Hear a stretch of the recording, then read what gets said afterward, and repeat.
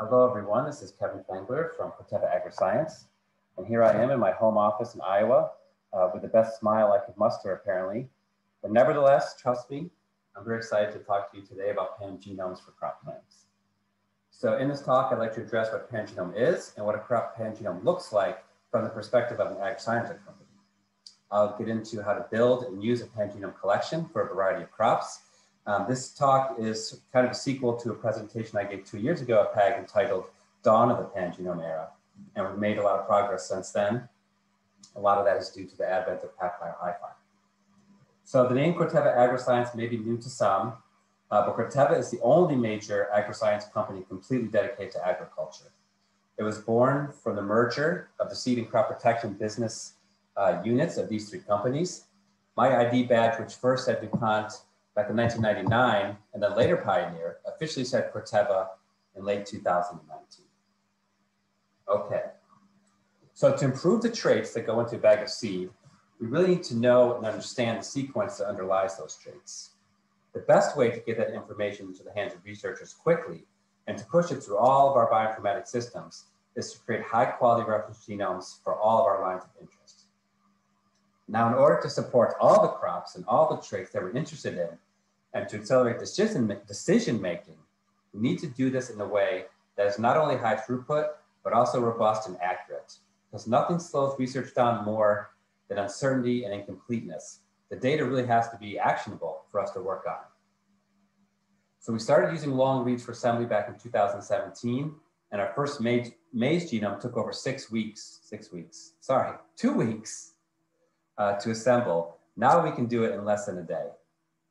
For example, last week I made a mung bean reference genome in just five hours after the sequence data came off the instrument. Basically, we've had to become Genome Factory to support all of our research needs. So what is a pangenome? So this term is very fashionable these days. You'll hear it a lot, um, and rightfully so, uh, because it's a very powerful way uh, to think about genomes. The classical definition of a pangenome is uh, the entire gene complement that can be found uh, within a species, but not found in any one particular representative. So this concept was really um, uh, put to full effect in this recent Cell paper uh, where they created a soybean pangenome. They analyzed over a thousand lines and picked um, 26 of those um, to maximize the diversity of that collection. So for those 26, they created reference genomes uh, to build their soy pangenome collection. At Corteva, we take a slightly different approach. Um, we basically create a reference genome for each and every application that we have that is specifically catered to that application. Um, and, and that way, uh, over time, we build a pangenome collection that's maximizing the utility for researchers. So it usually plays out the same way for all the different crops. Um, for example, the first thing we'll sequence are the transformation lines to enable our uh, biotech and genome editing uh, pipelines.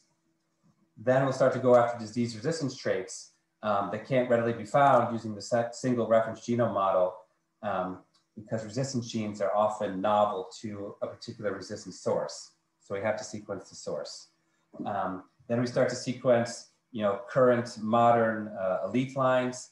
We'll sequence um, founders from different geographies.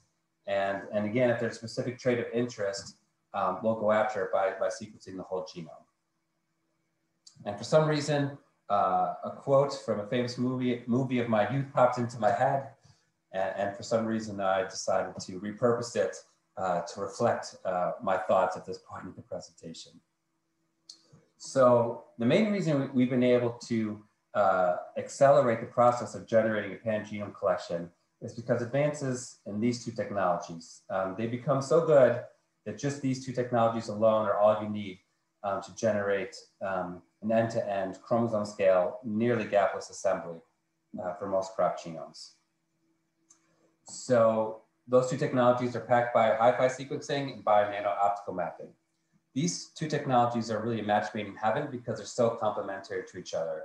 With PacBio, we're getting uh, very accurate uh, sequence contigs. And with Bionano, we're getting optical maps um, that typically span the entire chromosome or span entire chromosome arm. So when the PacBio contigs uh, handshake with the Bionano map, um, these contigs get ordered and oriented um, to create hybrid scaffolds that often span um, the entire chromosome. So BioNano has a lot of benefits beyond hybrid scaffolding, uh, which is why it's a required part of our process. And I'll talk more a little bit about that in a moment. So let's talk about PacBio HiFi first. I'm sure the basics, um, this particular figure will be shown by others um, at talks during this meeting, so I won't get into PacBio HiFi per se. I'd just like to just fast forward to talking about how um, PacBio HiFi has several key advantages that has really accelerated our efforts in um, generating pangenomes. So what we were doing in previous years with PacBio CLR was, was very good. Those assemblies were great. Um, but the process itself was not really scalable to all the genomes that we want to sequence or for the ultra large genomes that we want to assemble. For example, um, previously with PacBio CLR, it would take three days to do a maize assembly uh, using Canu, and that job would be running uh, on over a thousand cores during that three day time period. Uh, two thirds of that time was devoted simply to making just the corrected reads itself. So the biggest advantage to using PacBio HiFi, PacBio HiFi for assembly is the low computational demands for just generating the HiFi reads. There's lots of options about how you can go about that now. Uh, the best option is to get yourself a Sequel IIe instrument. Um, with those, the PacBio HiFi reads will be generated on the machine as the sequence data is being collected for the entire run. Unfortunately, we don't have any of those instruments yet. Um, so without that, there's other ways you can go about the, the computational um, job of generating HiFi. You can either chunk it into lots of different jobs, or you could uh, run it as a single job. Uh, but there's, there's definitely options of doing this, but the bottom line is that the computational demands are much, much, much lower um, than they've ever been before. So if you're running a genome factory, you need to also be able to need to be able to assemble the data quickly and efficiently as well, and you know economically. So at PacBio HiFi, the sky is really the limit on how many genomes we could do at once and how large those genomes can be. So here's some examples of crop genomes that we've worked on this past year with PacBio HiFi and the relative genome sizes. Now the ones here at the bottom are a pleasure to work on computationally. On the other end of the spectrum is wheat.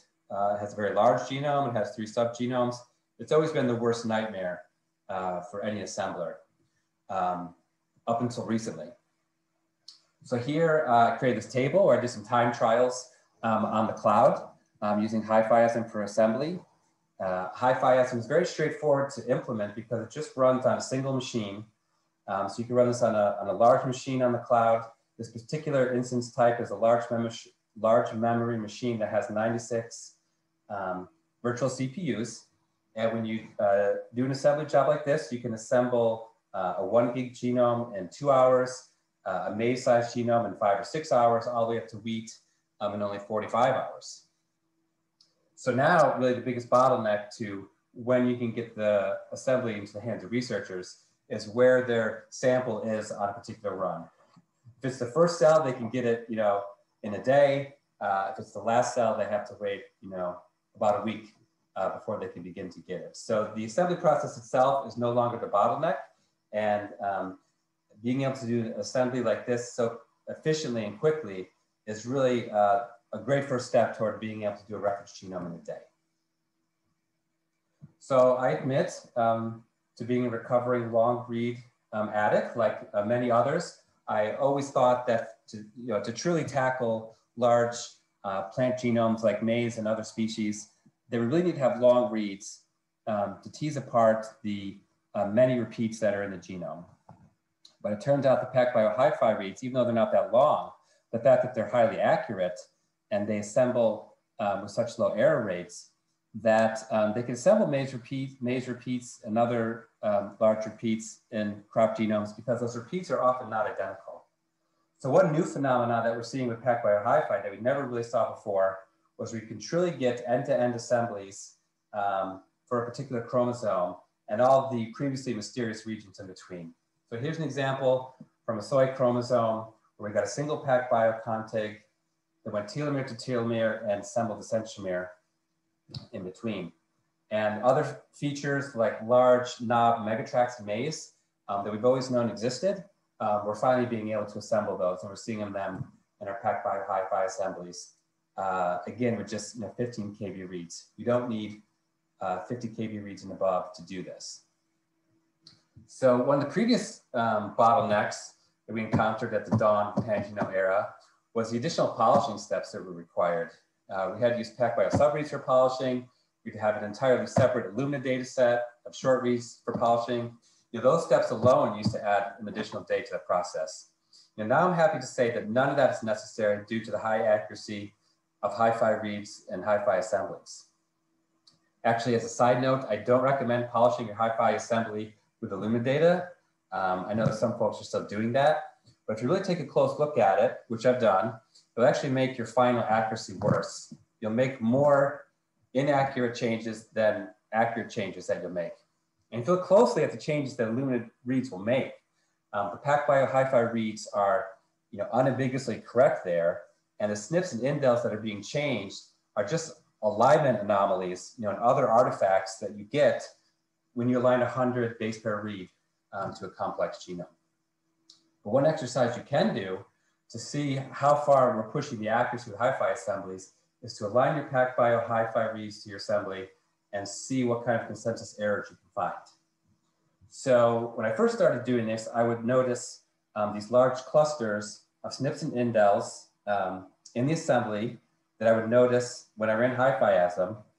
And it turns out this is just uh, sort of a glitch in HiFiasm where these um, uh, inaccurate reads were allowed to contribute or reads that have an inaccurate um, beginning or end to them were allowed to contribute to the consensus. Um, part of the reason that HiFiasm is so fast is it doesn't have a true consensus polishing step. Um, with that bug being corrected with version 13, um, I really have a hard time finding any consensus error in my HiFi assemblies. Almost all of it arises from uh, ambiguity in homopolymers that are greater than 15 base pairs or simple di trinucleotide repeats um, that are longer than that. Um, and these are cases where Illumina data wouldn't help you with those either. Um, so yeah, so the PacBio HiFi assemblies are extremely accurate. Okay, so as we've begun to build practical pan-genomes for a variety of crops, some interesting trends have emerged and um, going through some of these highlights is an interesting way to uh, talk about um, all these different genomes. For example, cotton used to be thought of as a very complex genome to assemble, uh, but with PacBio HiFi, we routinely see that it has the highest contiguity. Um, in this particular assembly, we only had seven gaps. Um, each one of these bars represents a chromosome. And uh, these two green bars are scaffold gaps and the other um, colored bars represent contig gaps. And we're getting good um, genome separation between the A and D genomes.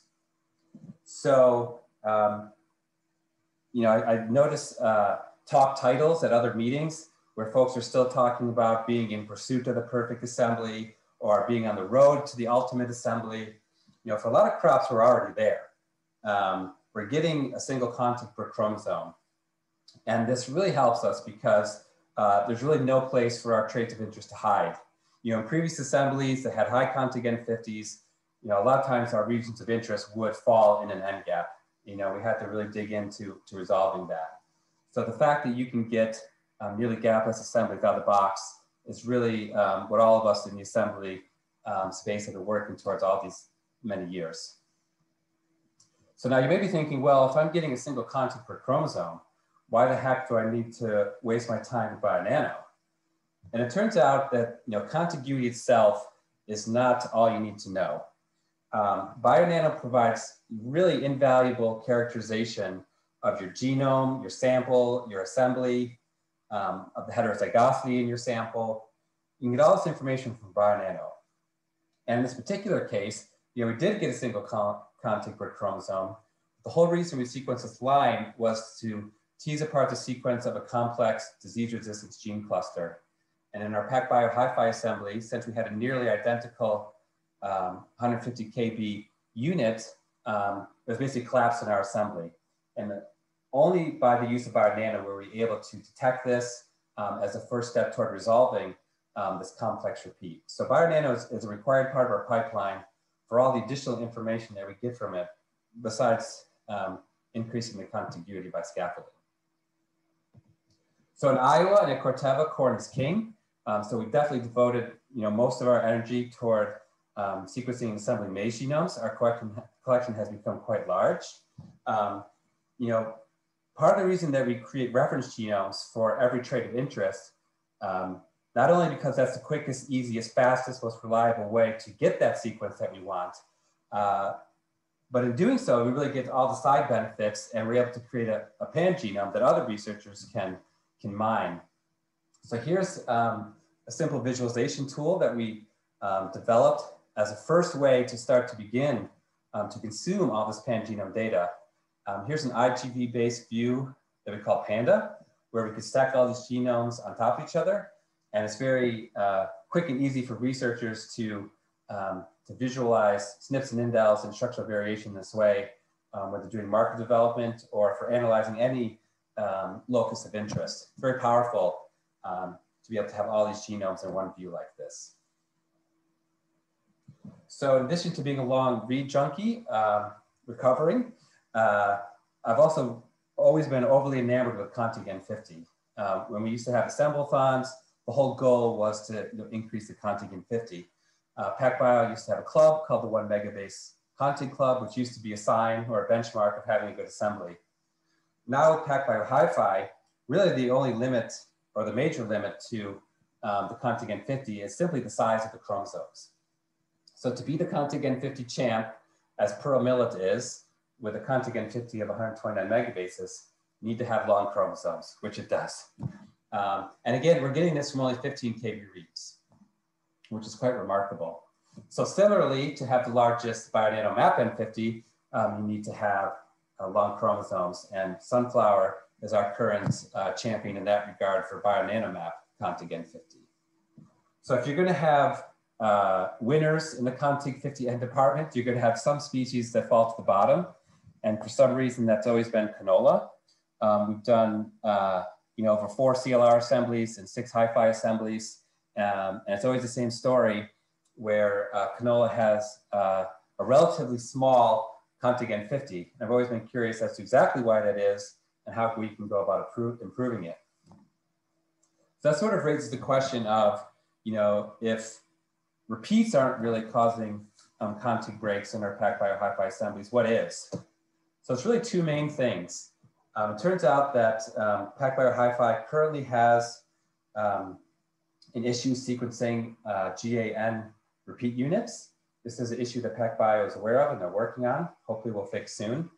But if you line your PacBio HiFi data to your scaffolded assembly, you find a bunch of one, two, three KB um, gaps. And at those gap sites, you'll find a lack or a real drop um, in PacBio HiFi coverage, which produces a gap. Another source of gaps um, is actually sort of counterintuitive. Uh, there's a bunch of overlapping contigs um, in PacBio HiFi assemblies. This has always been a thorn in my side as a professional assembler. I spend a lot of time manually curating our genomes um, to resolve these overlapping contigs.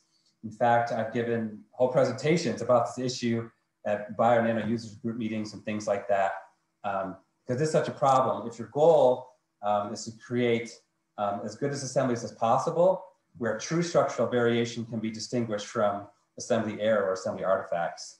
So in this case, um, overlapping contigs actually creates an artificial tandem duplication that gets denoted as a 13 base pair end gap um, when these contigs go through the BioNano hybrid scaffolding process.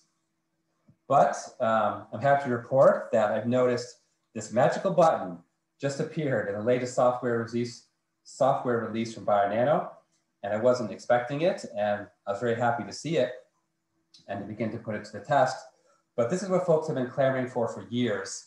It's for the overlapping contigs um, to be addressed during the hybrid scaffolding process, which is really the best time to do it um, it's not so easy just to look for overlapping contigs because lots of contigs will overlap because the ends are often repetitive.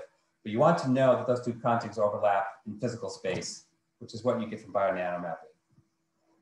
So uh, here's a test that I recently did um, with the Maize HiFi assembly, had 16 overlapping contigs of various sizes. Some of those overlaps are quite large, um, you know, 200 kb overlap and the creation of an artificial um, 200 kb tandem duplication is something that you want to address. Um, usually I do that through manual curation. Uh, but now with the use of the magic button, um, in this test, all 16 of these overlaps um, were auto trimmed, which meant that no manual curation was needed. And I didn't really, I didn't need to run the hybrid scaffolding process twice. Um, so what this process does um, is it trims contigs based on map space, not on sequence. That's an important distinction to know. So uh, however much of an overlap is detected in map space, um, that many base pairs will be trimmed um, from the contig on the right. So sometimes that might not be ideal. Sometimes you could tell that's a contig on the left that's better to trim. But that's uh, a good trade-off to have this automated process. It saves a lot of time. There are a few cons that I should mention that I've noticed. The first con is that the final visualization will still show these untrimmed contigs. So it's not immediately clear what the fate of this overlap was. Um, but if you dig into files, you can see that the fate was that, you know, a 16.9 kb chunk was cut um, and put into um, the unscaffolded leftovers. So that is sort of another con is that um, when I do manual curation, I'll remove that 16.9 kb chunk that I cut to remove it from the assembly. When you start to do annotation or alignment, um, this will still show up as sort of a repetitive region. Um, and also uh, the resolution of this or uh, the accuracy of this cut will be largely based on the number of labels that are in the region. So the resolution of BioNano is highest when there's a bunch of labels nearby. Um, so the cut is made, made based on map space.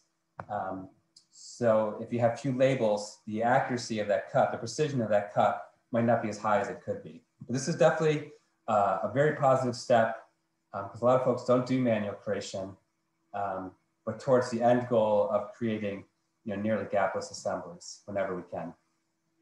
So back to the mystery of canola. Um, it turns out that canola does have a lot of uh, GAN repeats in it, which explains why um, the PacBio HiFi assemblies uh, weren't as contiguous as you might think.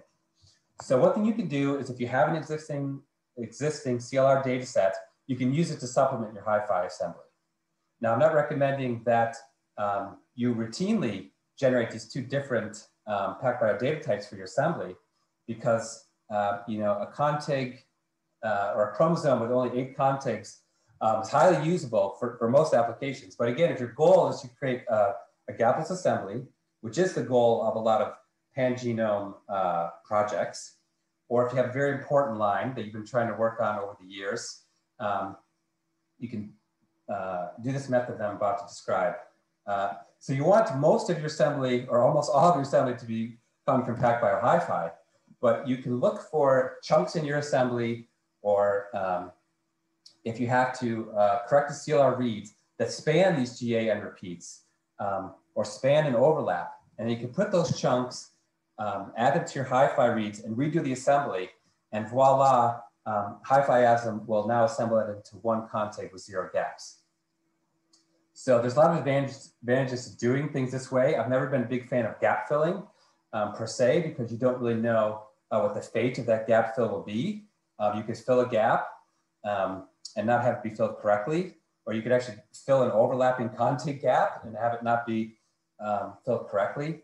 So when you put these chunks through the rigors of the assembly process, um, you know, those chunks will be corrected by HiFi reads, um, and, and, they have to go through the rigors of assembly. So you won't get a false, um, a false assembly doing this, doing things this way. So in this case, I was able to increase the contig N50 of canola from 10 to 30 megabases, which works out to be about two contigs per chromosome. Um, so you can see how there'll be an explosion in contig N50s again uh, once this GAN issue is resolved by PacBio. Uh, and you can see that really it's not repeats that are, are stopping contigs. It's really these two issues. Um, okay, so I've done that process for several of our key um, lines um, for maize and for other crops. So here's an example where I was able to, um, do this process and get a maize assembly that only has uh, 12 total gaps the assembly, nine scaffold gaps, three contig gaps.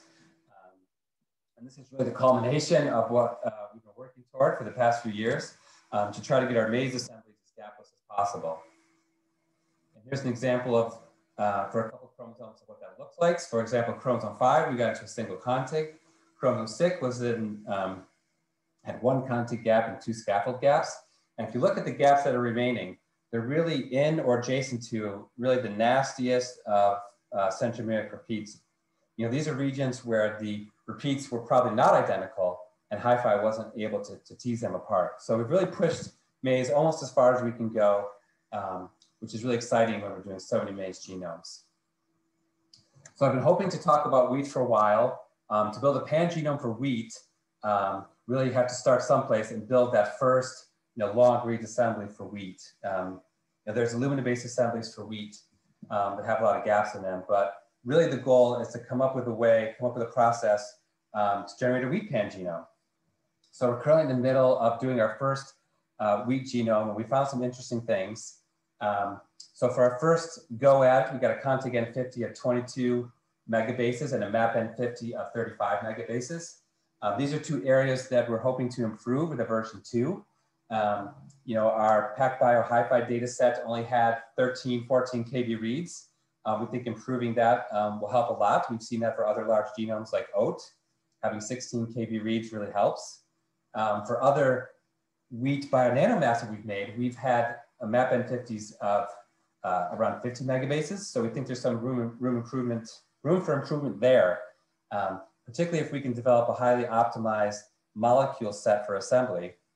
You know, we might be able to push that even beyond uh, a 50 megabase map N50.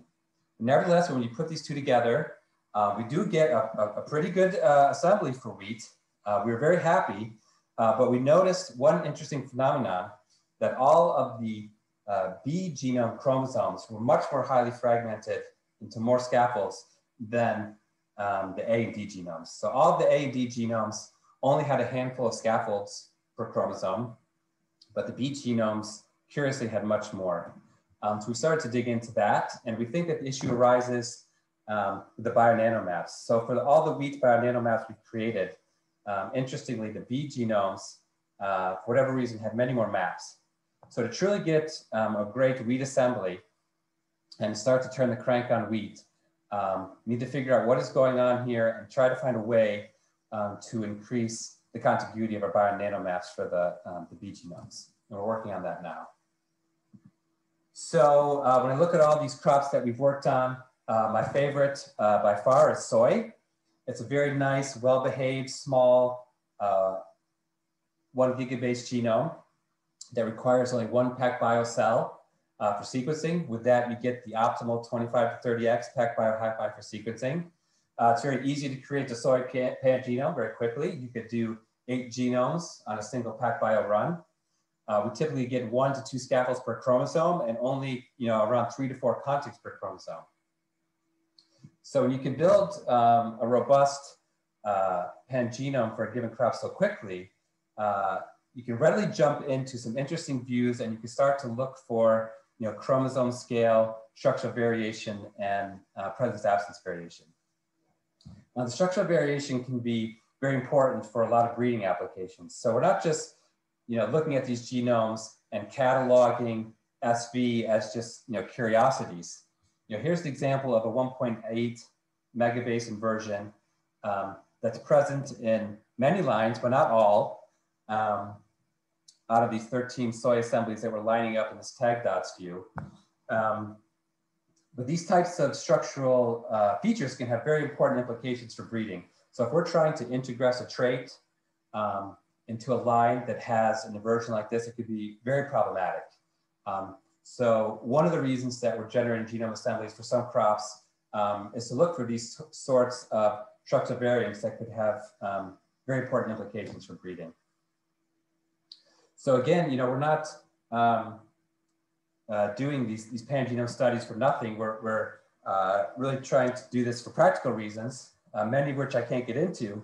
But one interesting case um, arose several years ago when I first gave um, the talk at PAG talking about the dawn of the pan-genome era. I showed a slide that looked like this. Um, as we start to generate our first pan-genome for maize, one thing that struck out um, because immediately in the second maize genome line that we sequenced um, with a large chromosome 2 inversion that spanned a third of the chromosome. So at first we thought this was a misassembly. Um, we knew that maize was very diverse. We weren't expecting to find such a large SV in one of our most important inbreds. Um, so surprising to find it and surprising that it had gone undetected all these years. Um, but we had a really cool paper that came out recently where we were able to um, reinvert uh, that inversion, so to speak, um, using CRISPR-Cas9. Um, we're currently analyzing those plants to see the, the full impact of doing that. But this opens up all sorts of interesting possibilities, not for gene editing, but for genome editing. Being able to uh, flip these large pieces around, we can really control um, uh, recombination in any region that we want. So uh, this opens up a lot of interesting possibilities for us. And this was a neat thing that arose um, from the very early days of our pan-genome efforts. And the discoveries like this are just starting to uh, bear fruit for us at Corteva. So not only have we been generating pan-genomes for ourselves, uh, we also do this as a surface service. We are certified PacBio and BioNano service providers, and um, we'd be more than happy to generate a pan-genome for you. Um, just contact us through um, either of these two sources. Um, and the reason we're able to do that is because we have an amazing uh, group of folks at uh, the Corteva Genomics Group that in addition to doing many other things, um, support our, our BioNano and PacBio efforts. Um, so here's some of those folks. Uh, and with that, I would like to uh, end, and I'm glad that you were able to join me today as I talked about pan genomes for crop plants. Thank you.